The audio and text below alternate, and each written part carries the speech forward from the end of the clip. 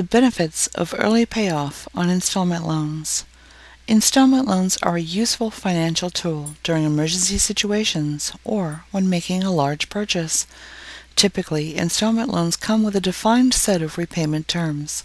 These terms include the length of the loan, or number of payments, principal, and interest. By making extra payments or paying extra each month, the extra payment is deducted from the principal on the loan and reduces the amount of interest you will pay over time. There are other benefits to early payoff, and we will discuss them in today's article.